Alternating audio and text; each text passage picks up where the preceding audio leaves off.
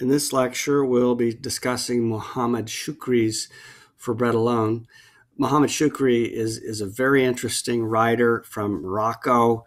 His, uh, his memoir, in effect, For Bread Alone, tells the story of his childhood, his uh, coming into manhood, from very difficult circumstances that he grew up in in Morocco. It's it's a very difficult novel to read, not because it's not clear, it's very clear, but because of some of the very disturbing situations, images that uh, occur in the novel from the experiences that Mohammed Shukri had as a child. So he overcame great adversity as a child. He was illiterate he didn't learn to uh, write or read until he became an adult while imprisoned.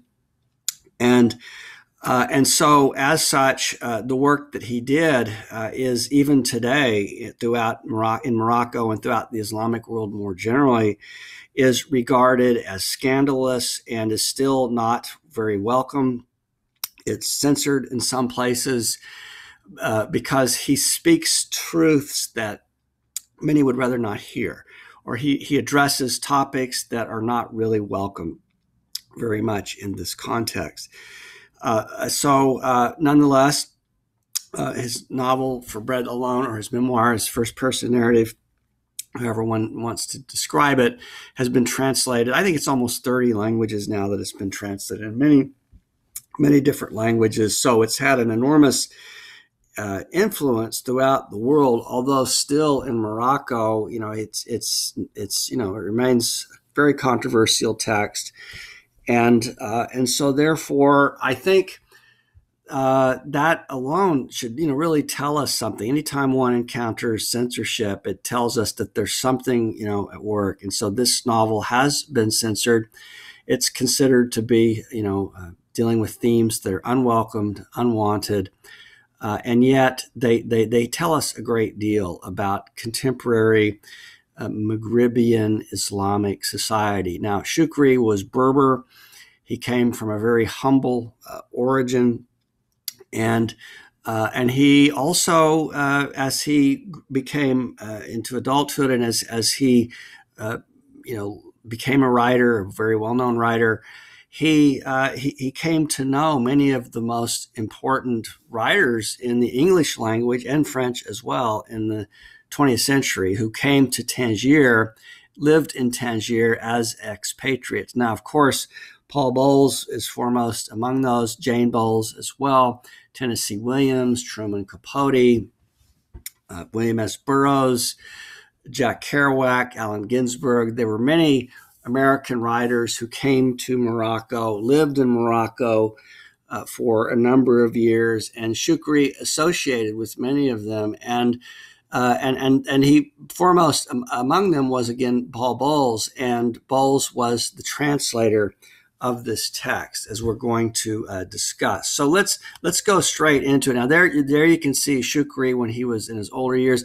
He died in 2003. He lived from 1935 to 2003.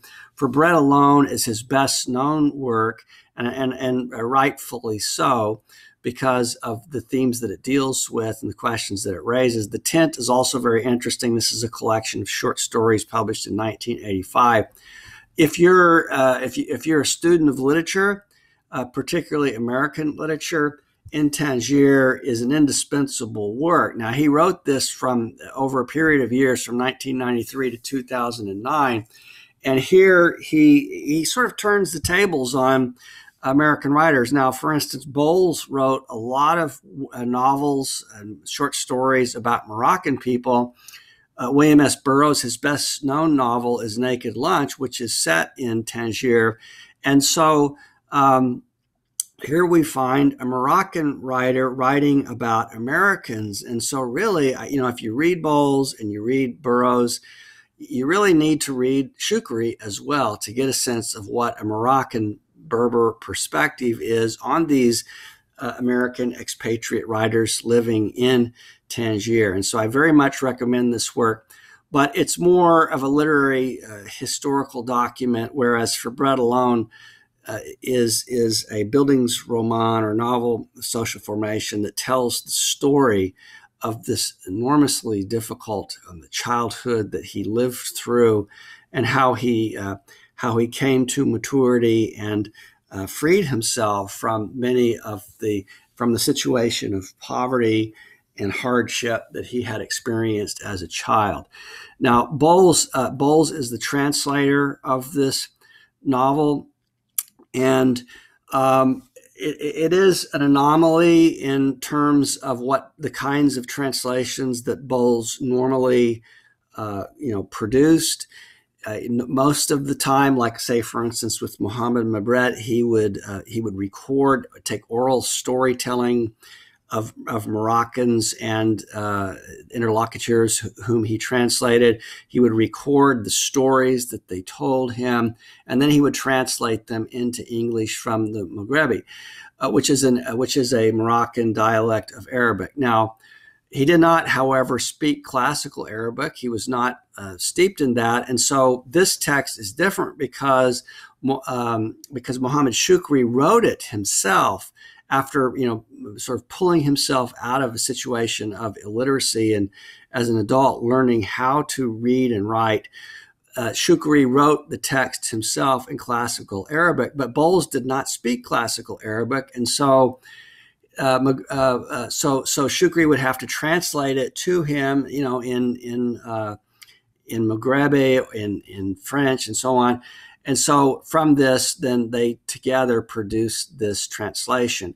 So I, I, but but Bowles' best known translations, with the exception of this one, are more oral. He comes from a more oral storytelling translation perspective. Now, he's Bowles is very well known as a composer, also of classical music. But uh, his Sheltering Sky, his text, The Sheltering Sky, is obviously his most important novel. Bertolucci made a film version of this.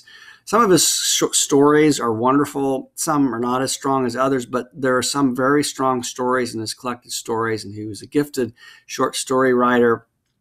Um, Their Heads Are Green is about his collection of uh, music, and it, this is a non-fictional work. So he wrote many works, and and they're they're very interesting, and he's very much worth reading as a novelist and as a short story and nonfiction writer. However, you know, arguably it was his work in translation that that he'll be remembered for because many of the texts that he produced as a translator uh, gave us insight into this sort of subaltern uh, Moroccan experience that we would not have if if Bowles had not done this work for us. Now, Jane Bowles, Paul Bowles' wife, was not really very enthusiastic about his work as a translator. She was she urged him to just write his own stories as well. But but uh, Paul Bowles persevered with his work in translation, particularly after Jane Bowles got ill, and uh, he he could this was something that he could do that was easier for him to do given the difficult circumstances that he was living through at the time of Jane's Bowles' uh, illness. And so he came into contact with Muhammad Shukri. He translated this text for us. So Bowles is important not only as a writer of fiction, uh, but and nonfiction, but also as a translator.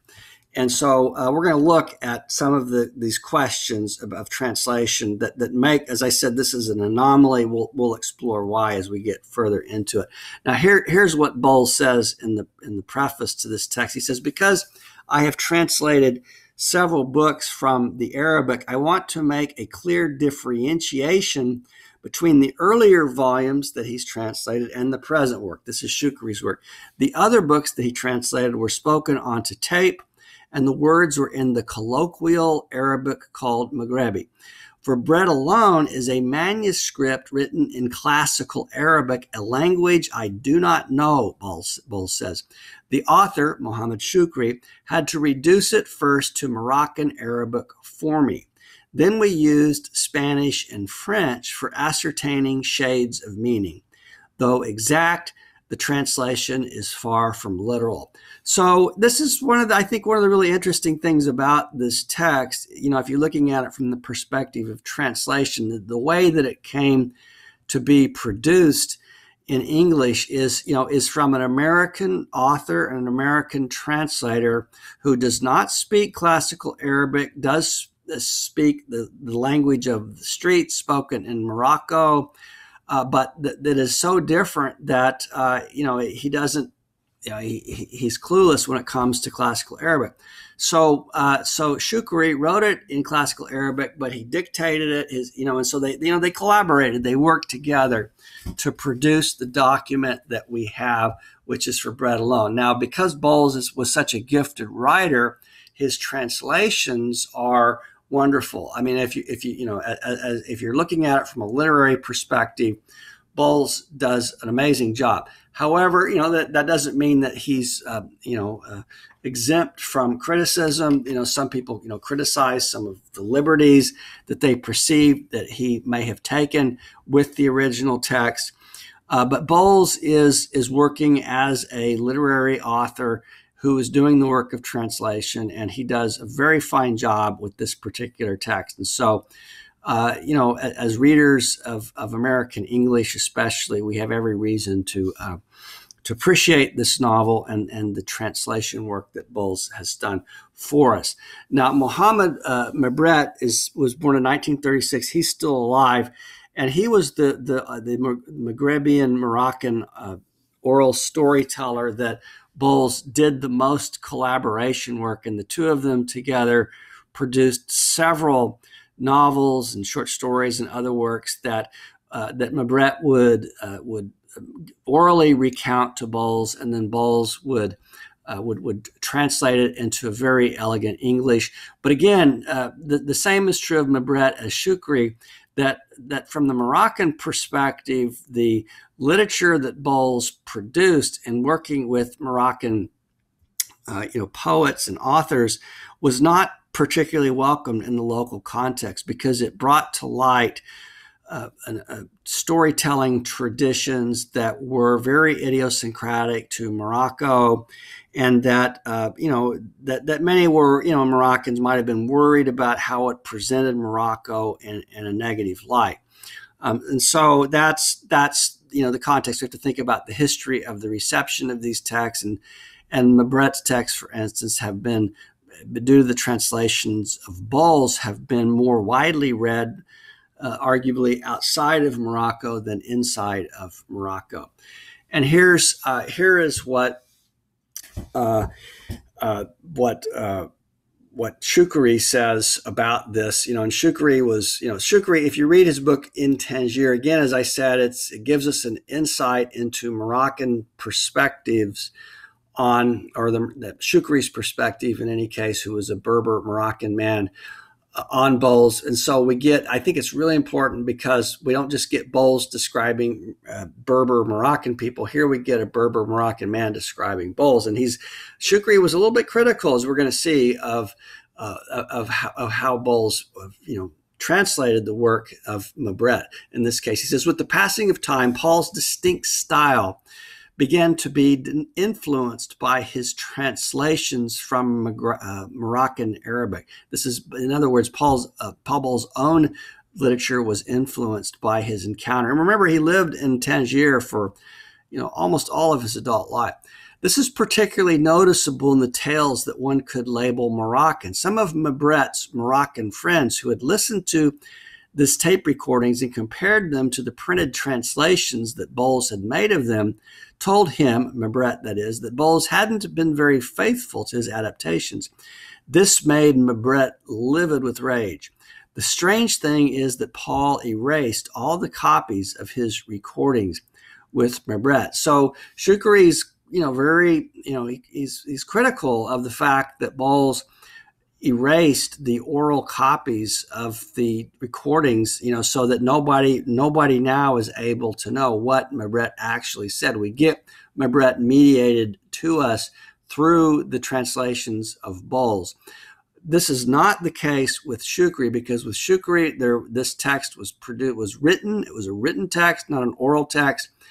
Uh, it was written in classical Arabic, and so we can compare the classical Arabic original with the translation that Bowles created uh, through his conversations with Shukri and, and Shukri's, uh, you know, they're using uh, Maghrebi, French, and Spanish to create the text that actually came to be created. So it's there's a very interesting history behind the production of this text. Now, uh, but I, as I said, Bowles translated far more works by Muhammad Mabret than he did of Shukri, and uh, and so I would urge you to go out and look at some of these. My my personal favorite is The Lemon. I think it's just a wonderful uh, novel that the two of them produced together. But there are other there are plenty of other works and they're they're very enjoyable. They're very readable, and they they were created through this collaborative process of oral st- storytelling and then translation that led to the production of these novels. And you know, who knows? In time, it may be that uh, possibly, with the exception of a few short stories and The Sheltering Sky, that that one is going to look back and see these works of translation that Bowles did as being among his most significant achievements. Now, I want to just as we go before we go into Shukri's text itself, I want to look at some uh, comparative translations of what, on the one hand, would be a more literal translation from the Arabic, and then what Bowles did with this, just to give us a sense of the complexity of the process involved. And here's here's how Bowles translated this from this complex process of discussion with Shukri, he came up with this translation. He says, One afternoon I could not stop crying. I, in this case, Shukri. I was hungry. I had sucked my fingers so much that the idea of doing it again made me sick to my stomach. My mother kept telling me, Be quiet. Tomorrow we're leaving for Tangier. There's all the bread you want there. You won't be crying for bread anymore once we get to Tangier. So now, if you look at the though the original Arabic that that was the written version that Shukri himself produced, this would give us a better sense of how it might read in Arabic. So one afternoon, I cannot stop crying. I feel pain from hunger. I suck my fingers again and again. I vomit, but only threads of saliva come out of my mouth. My mother tells me once in a while, Be quiet. We're leaving from Tangier.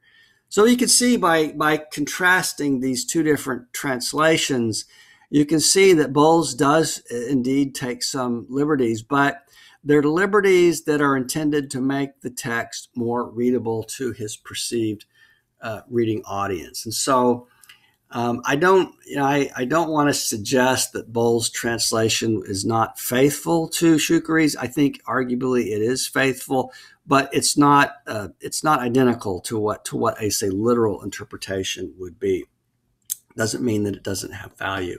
Here's another uh, comparison that we can look at. Here's Bowles. He says the neighbor. He's, he's translating Shukri here. The neighbors had to break the bolt on our front door in order to deliver me and my mother from the blows of his his father's uh, military belt. My body was covered with bleeding welts, and one of her eyes, his mother's eyes, was swollen shut. It was many nights before I could find a comfortable position to sleep in.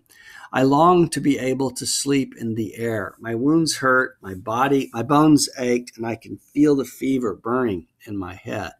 And here's the more literal Arabic. Two neighbors broke the bolt on our, our house's door to rescue me and my mother. He, my father, was battering us with his military belt. My whole body is covered with blood. My mother's eyes, my mother's eye is swollen it was many nights before I found a way to sleep. I wished I could sleep in the air. Now again, let's let's remember there's no such thing as a as literally as a correct interpretation or a correct translation. That they're both legitimate interpretations. One is more literal. One perhaps does take some liberties with the text, but without ceasing to remain faithful to the original text. But that's a distinction worth bearing in mind as we consider the translation that Bowles produced with the collaboration of Shukri. And here's what Bowles says about Muhammad Shukri at the beginning of this text. Bowles says, It has been my experience that the illiterate, not having learned to classify what goes into his memory, remembers everything. Total recall is like perfect pitch. It means nothing in itself, but it can be extremely helpful to the writer who uses it professionally. It seems almost a stroke of good luck that Shukri's encounter with the written word should have come so late, for by then his habits of thought were already fully formed. The educative process did not modify them. As a writer, then, he is an, in an enviable position, even though he paid a high price for it in suffering. So this is a really interesting observation. And I think, you know, there's there's some truth to this is that that people who are not literate tend to have a, a better memory than those who are literate because they have no choice but to but to remember rather than to store knowledge, let's say in, in an external sense, you know, outside of, of their body in, in written texts. And so, you know, Shukri has this gift, Bowles notes, that he himself does not have of being able to have, you know, total recall. Well, so he's got a wonderful memory, but then he did learn to write. He learned to write, you know, later, read and write later in life when he was imprisoned. I think he was about 19 at the time that he started to learn. And so he, he became a writer, but a writer who has the memory, the, the, the total memory of a person who is not literate. And so, uh, you know, this is, this is an interesting, I think, observation that Bowles makes. This is one of the, reasons that he finds him to be such a gifted writer. Now, um, I th- there's a few questions I would raise here. If we think if we think about this in literary terms, um, you know, one question we might ask is bread is for bread alone a testimonial narrative? Test the testimonio or the testimonial is a very prominent genre that was uh, especially in uh, Latin America, emanating out of Cuba. It was uh, very influential during the Cold War period and even afterwards. There you see Rigoberta Menchú, uh, who, with the uh, collaboration of a uh, of a European writer, Elizabeth Burgos-Debray, produced this document, I Rigoberta Menchú, which was is, is arguably the most uh, well known testimonial ever produced. But uh, you know, is this the kind of testimonial that Rigoberta Menchú produced? It's it's obviously not. There are really significant differences between the the kind of testimonial that Rigoberta Menchú produced and that uh, Muhammad Shukri produced, but there are also interesting parallels that are worth just sort of pausing and reflecting upon. Now, Gayatri Chakravorty Spivak is uh, one of the most important theorists of post coloniality. She wrote a very influential essay that's been anthologized many times called Can the Subaltern Speak?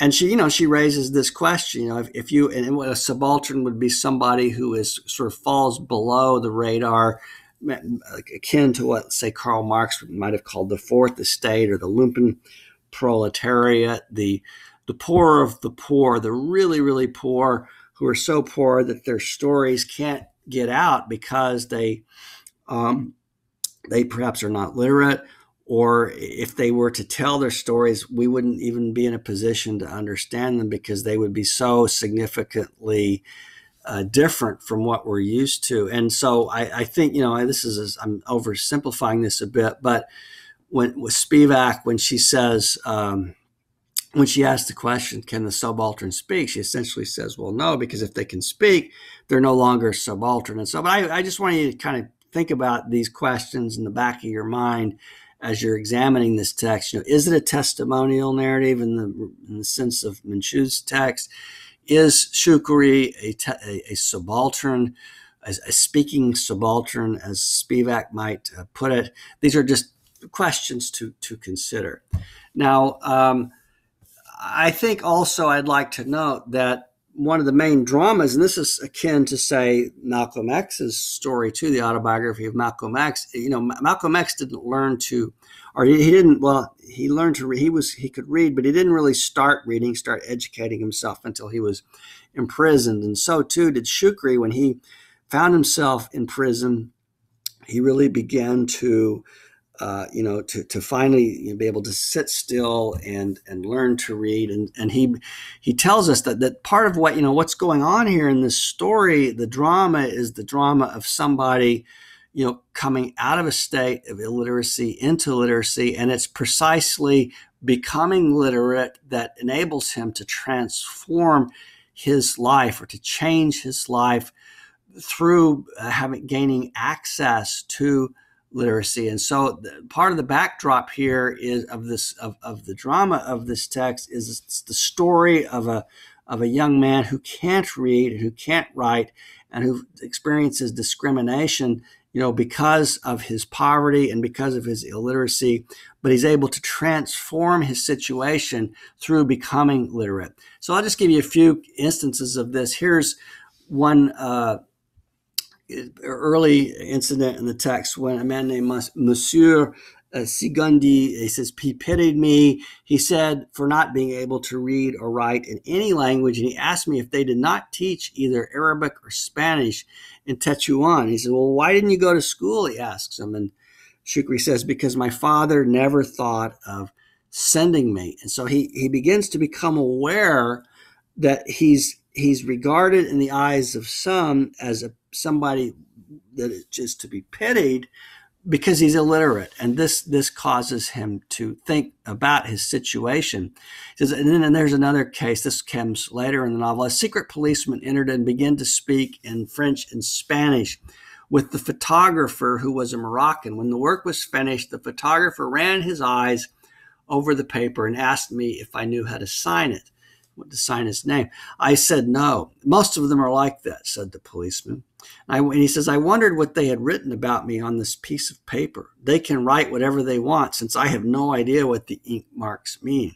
Nor do I dare to ask them to bring someone who will read it to me before I sign it.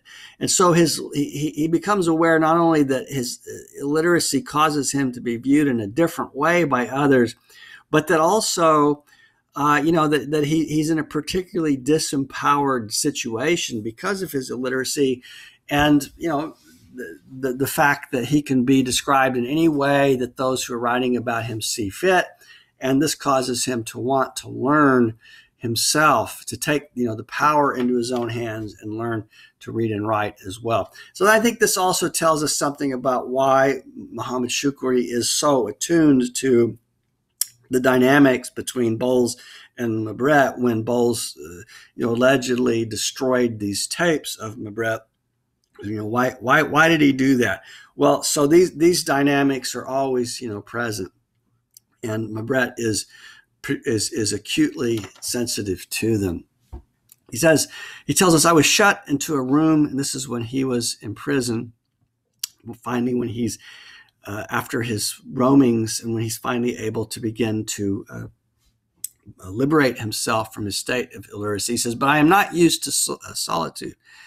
Uh, took a small pencil and set to work writing on the wall. What are you writing? I asked him.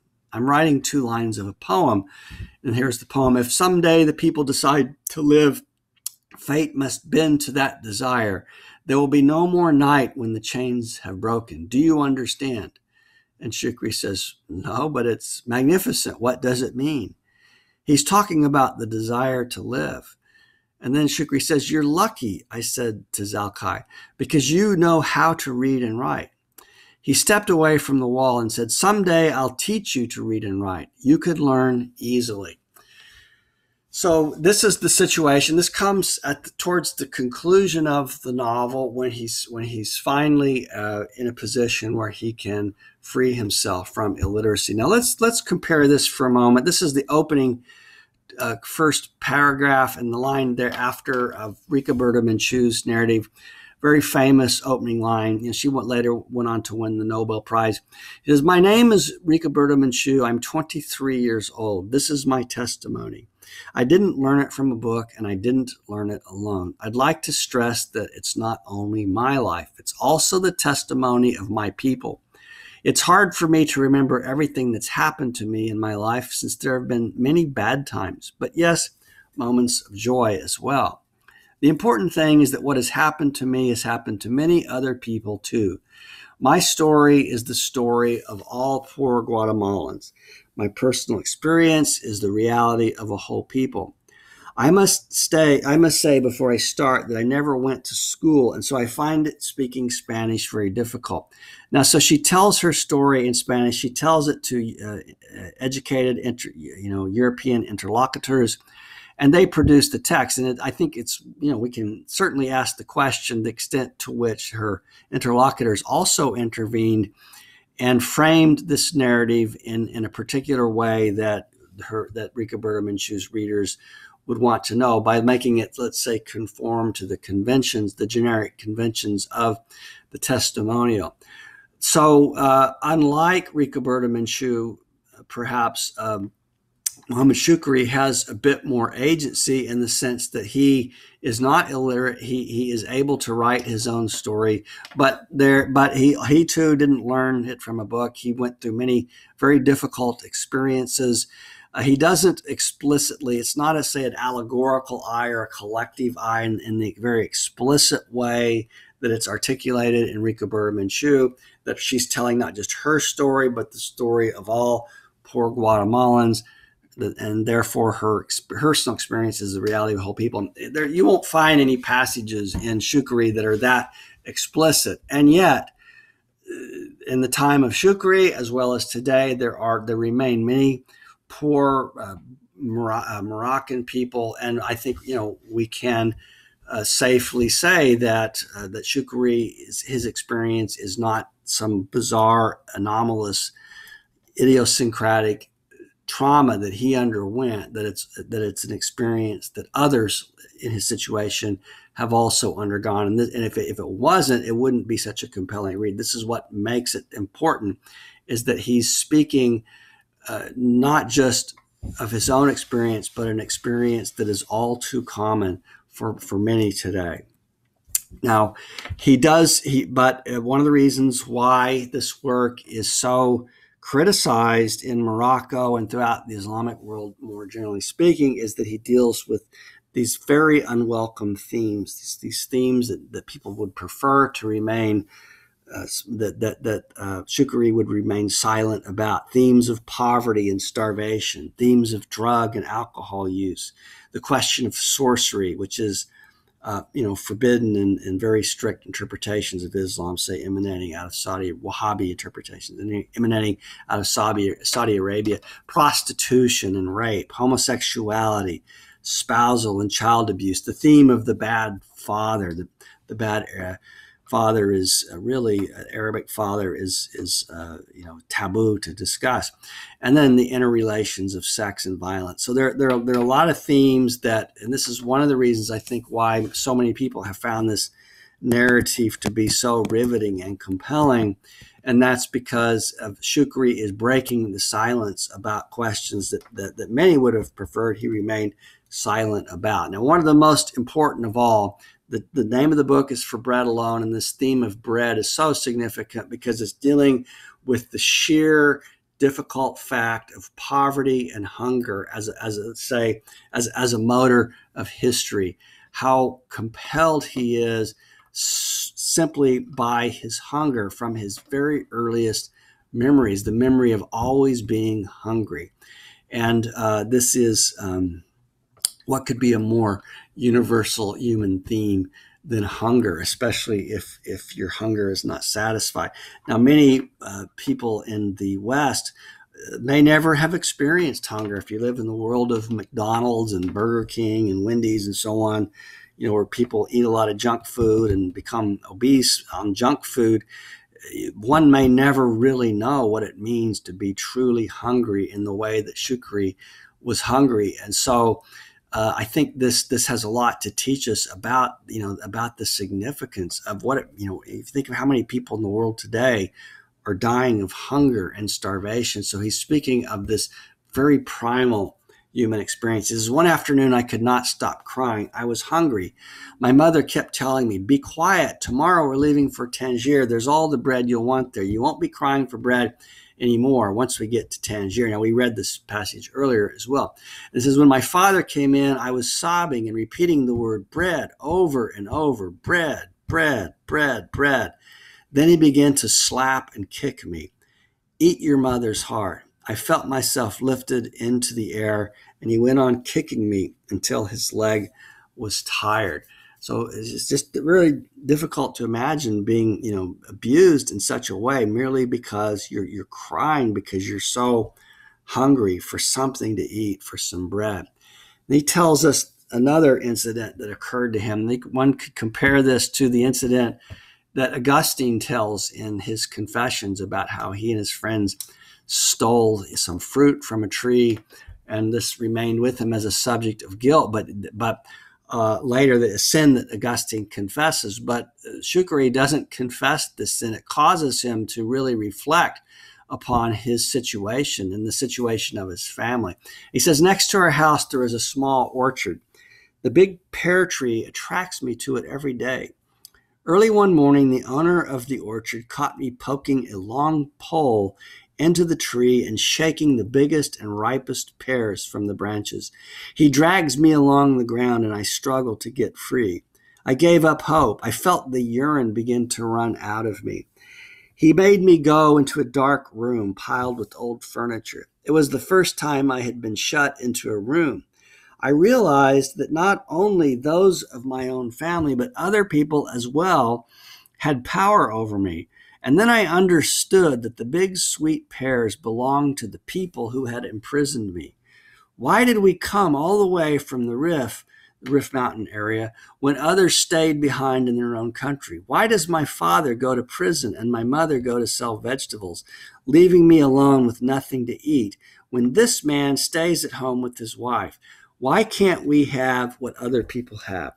So again, unlike Augustine, who reflects upon his, his, his inherent original sinfulness because he takes fruit from the tree that doesn't belong to him, here we have, uh, excuse me, Choukri reflecting upon his own family situation as a result of this incident of quote unquote stealing the fruit from a uh, from from a tree. It really it, this is this is the beginning of a process of self realization, self awareness, and awareness of his own idiosyncratic situation and that of his family as well. So if you go to Morocco today, here here is what you see this is a bread seller. This is the, the kinds of bread that you'd find. This is the bread that he was longing for, that he he really wanted, he needed to survive. And so this bread, this theme of bread, it, it's it's a um, you know it's a motif, a theme. The theme of hunger and the image of bread as a motif is going to recur over and over again throughout this narrative. Now, the most uh, the most uh, saddening and uh, you know perhaps telling epiphany comes to him when he goes into he, he, he sees a fisherman you know eating some bread and tosses some bread into the water and he goes and, and, and swims to find it and it, it, it causes him to really gain profound insight into the situation but also it causes him extreme humiliation. So let's look at this little epiphany or this little anecdote which leads to an epiphany. He says, The fisherman sat in his boat eating his loaf of bread. He eats it, and I am eating it too as I watch. He leans over the gunwale, and I watch him wearily. I watch and watch, thinking that he may throw something away, something I can eat as he is eating well, here we can you know talk about let's say the you know the politics of starvation. You know, it can, can, can it's difficult to imagine if you've always had food whenever you want it, what, what it must feel like to be in this situation. At last, he, the fisherman, threw the bread in the water. I stripped off my shirt and trousers and plunged into the water. I swam beneath the bread and saw that the slab of meat that had been inside it had already sunk to the bottom. There goes my luck, I thought. The fisherman began to laugh uproariously. I raised my head towards him, my hand clutching the bread. I looked at him and at the bitten piece of bread. Lumps of shit floated all around me in the water, floating, floating. I seized the bread in my hand. It was spongy and sticky with oil from the boat. In my mind, they became connected bread and shit, connected. On my way, I looked behind me and the fisherman waving at me, laughing. The fisherman called after me, wheedling, Hey boy, come here. It's only a joke. Come here. Come on. Here's another loaf of bread. Poor kid, said the fisherman in the boat with him. I did not turn around and go back toward them. The humiliation was very great, too great. So it's it's very interesting. If you look at this from, let's say, a philosophical perspective, it's almost you know Hegel versus Marx here.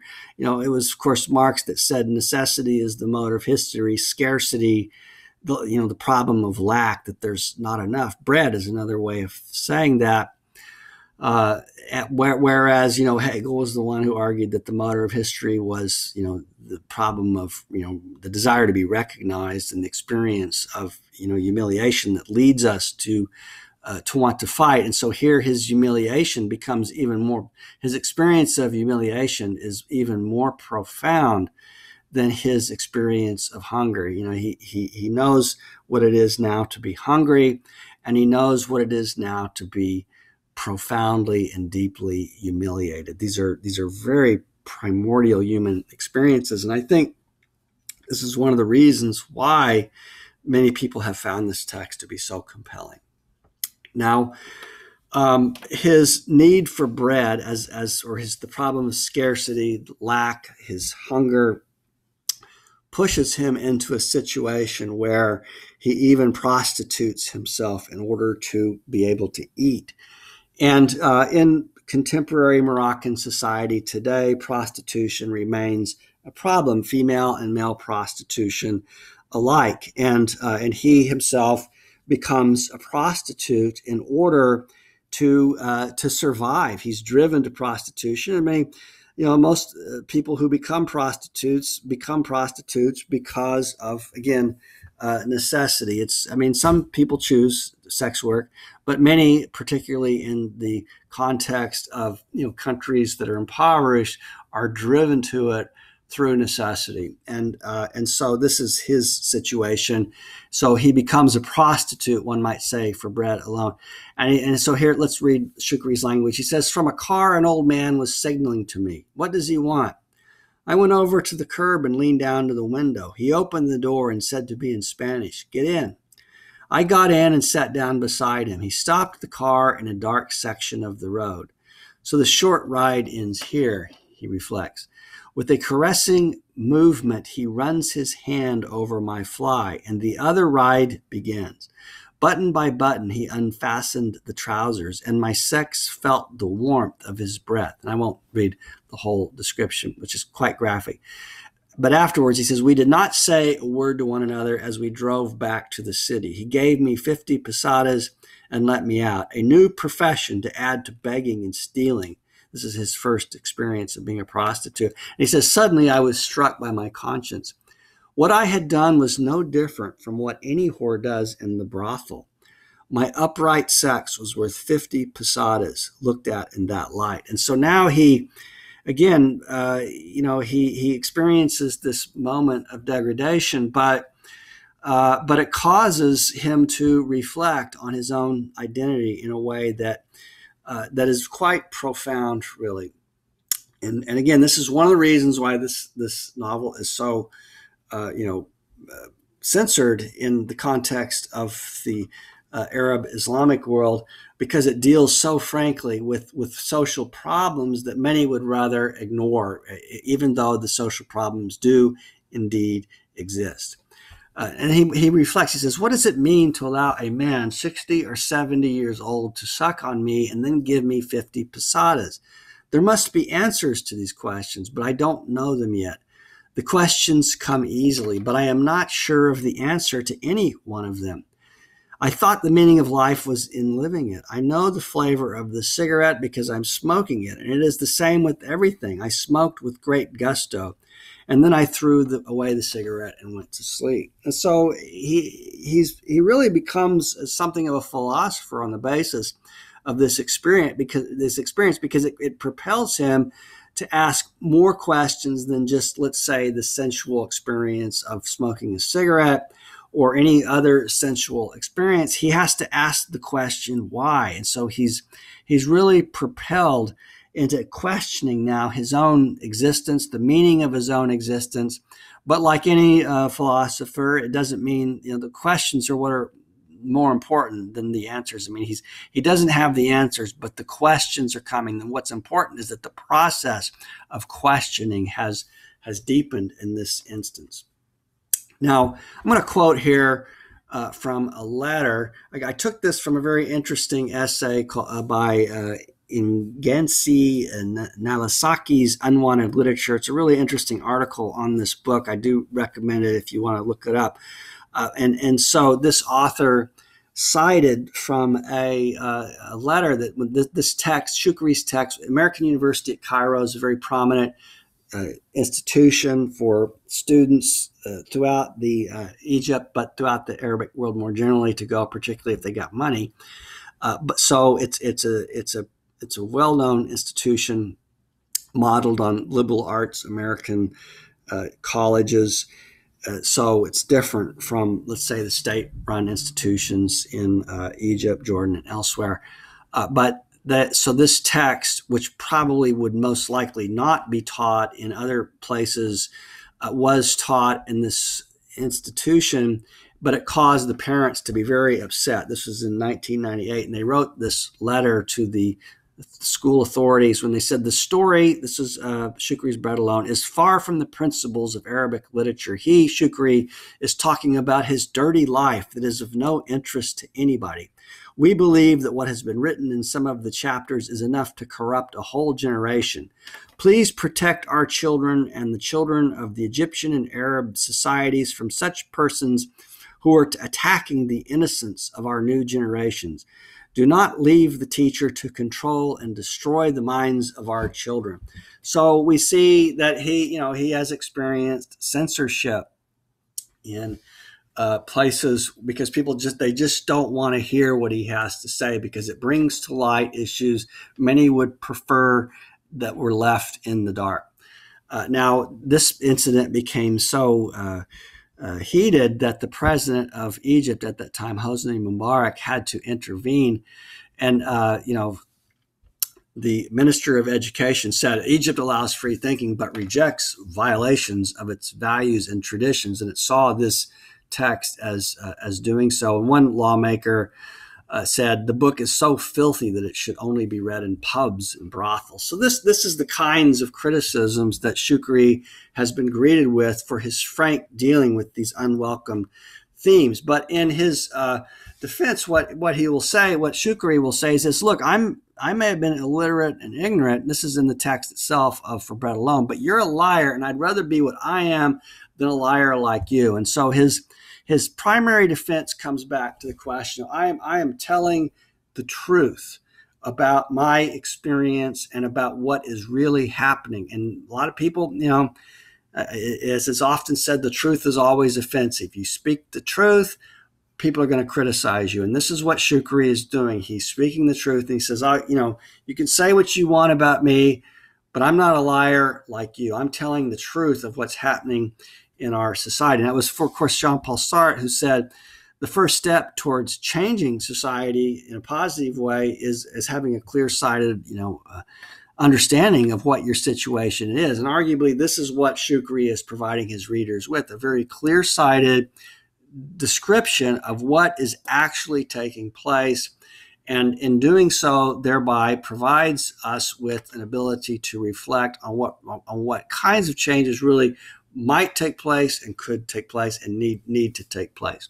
Here's some more descriptions of Choukri, wonderful defenses of his own work. He says, I cannot write about the milk of birds, the gentle stranglehold of the angelic beauty, grasps of dew, the cascade of lions, the heavy breast of females. I cannot write with the crystal's paintbrush. For me, writing is a protest, not a parade. It's a wonderful quote. And here's another one. I saw that writing could also be a way to expose, to protest against those who have stolen my childhood, my teenagehood, and a piece of my youthfulness. At that moment, my writing became committed. Very nice. And then he says, There's in the Moroccan society a more conservative faction. Those people who judge my works as depraved. In my books, there's nothing against the regime. I don't talk about politics or religion. But what annoys the conservative is to notice the conservatives is to notice that I criticize my father. The father is sacred in the Arabic Muslim society. And so the fact that he you know tells us very frankly about what it's like to have the kind of father that he had is uh, is itself a, a taboo to criticize the father is is taboo and that's that's what he's doing but his father was was quite a monster.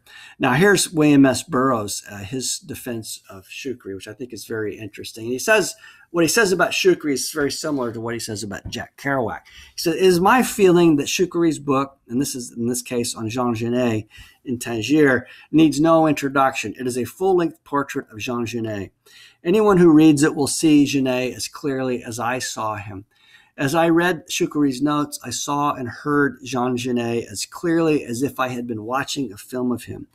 To achieve such precision simply by reporting what happened and what was said, one must have a rare clarity of vision. Choukri is a writer. So, although Burroughs is talking here about his writing on Jean Genet, let's think about this in light of um, For Bread Alone. Let's read this again. To achieve such precision, simply by reporting what happened and what was said, one must have a rare clarity of vision. Choukri is a writer, and this is this is what he gives to us a, a reporting of what was actually said and this rare clarity of vision. And indeed, he is a writer. Now, we'll just very briefly focus on the family drama that he describes. And again, I, I, I warn my readers there's some really difficult passages here. I, I'm not going to be reading the most ugly ones, but I will. Uh, I don't think we can uh, ignore this because this is so profoundly, you know, it so profoundly shakes uh, shapes Choukri. He says, Each day or each afternoon, my father comes home disappointed. Not a movement, not a word, save at his command, just as nothing can happen unless it is decreed by Allah. So father has this godlike power in his home. He hits my mother, bitch, rotten whore. He abuses everyone with his words, sometimes even Allah. My little brother cries as he squirms on the bed. He sobs and calls for bread. I see my father walking towards the bed, a wild light in his eyes. No one can run away from the craziness in his eyes or get out of the way of his octopus hands. Now we know that Choukri's father actually killed his brother, murdered his his his own son, and yet Muhammad Choukri is is uh, can't say anything about it for fear that he too will be killed by his father. And he says, I thought of how my father had twisted Abdulkar's neck, and I wanted to cry out. He killed him. Yes, he killed him. I saw him kill him. He did it. He killed him. I saw him. He twisted his neck around and the blood ran out of his mouth. I saw it. I saw him kill him. He killed him. And then, you know, that's, that's really a very, uh, very, uh, very difficult passage to focus on, but quite poetically written and quite powerful.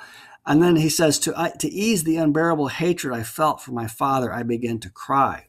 Then I was afraid he was going to kill me too. He began to scold me in a low voice, loaded with menace. Stop that. You've cried enough at home. Well, uh, these are these are you know can you imagine as a child having lived through this experience? Well this profoundly affects him but he's again speaking the unspeakable. He couldn't speak it at the time that it happened. His father was never even prosecuted for this.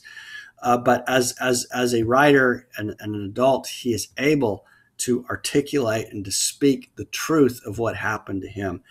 And uh, the fact that this that one would want to censor this, I think it tells us a great deal about the. Uh, it tells us a lot more about the society that wants to censor than it does about Choukri himself. It says, in the afternoon, my father came back dejected, giving off a smell of wine. I heard my mother say, "You've been drinking, haven't you?" I woke up in the night with the full bladder the sound of kisses like the clapping of hands, hard breathing, tender murmurs. They like each other. I hate their love. Flesh clapping. Poof. She tells lies. I'll never believe her. This is her, his mother. Again, no, no, hurts. Like this, like this. That's better. No, no, like this. Yes, that's right. Breathing, kisses, groans, breathing, kisses, groans. They're biting each other. They are devouring one another, licking each other's blood. He stabbed her a long, soft moan. He killed her. I feel my bladder emptying itself. The warm liquid running between my thighs feels good. So, obviously, his parents are having sex, but he's, you know, he doesn't, he, imagine, you know, the father had just killed his brother. And now he sees his, here he overhears his parents having sex, and it, it causes such confusion and ambivalence in him as a child. He's having a really difficult time processing this, but it remains with him throughout his life, this kind of ambivalence. I think what's interesting too is the way, again, the interrelations of sex and violence here, the way that he describes them, and then the way that later he describes how it will affect him as an adult as well. He, he tells us quite frankly, he says, My father's rough treatment of me only served, always only ser- served only to increase the rage of my desire. And, and then um, here is when he gets into a relationship with uh, this woman later in the narrative, towards the latter part of it, he reflects about you know his feelings for her, which we can see directly related to the situation between his father and mother. He says, "Am I myself beginning to fall in love with Salafa? Merely to think of her makes my heart beat harder. Then I feel a wave of hostility toward her. I imagine myself insulting her, slapping her." Trying to work up her temper. Maybe I like her better angry than calm, better sad than happy. Maybe she means more to me when she's being crazy than when she is sensible. Thus, I learn a new truth about my feelings for Salafa, which are, of course, linked very clearly to the situation that he experienced as a child. So there's there's a lot that we can learn here by studying the way in which he describes these relationships. Now, coming to the end of this uh, lecture, here's a picture of Burroughs and uh, there with the camera on the right and Bowles in between. I think that's Gregory Corso, very well known American poet. Uh, with his eyes closed there next to Bowles with the cigarette in his mouth. And so much of what we, when we think about Tangier today, particularly as American uh, readers, you know, we, we, we can't escape, you know, Bowles and Burroughs. They were so, they lived there for so long and they were so influential. But here, I want to read, in concluding, I want to read to you a passage from uh, from Choukri on Bowles and on Bowles in Tangier, which gives us this from the Moroccan experience rather than the American experience. And Choukri says many Westerners and Americans say that Tangier without Paul Bowles wouldn't be Tangier. But which Tangier are they speaking of? No doubt they refer to the Tangier that had been adored by Bowles and his kind. And obviously, the Tangier of Choukri was very different. When it was chic and life there were inexpensive, a place where money would seek you out without having to look for it. They forget that it was Tangier that created and adopted them, and that precious few of them did anything to enhance its literary and cultural reputation. They forget that it is the environment, first of all that nurtures the artists and that that it nurtures will only come to nourish it in turn if they are exceptionally gifted true artists in other words.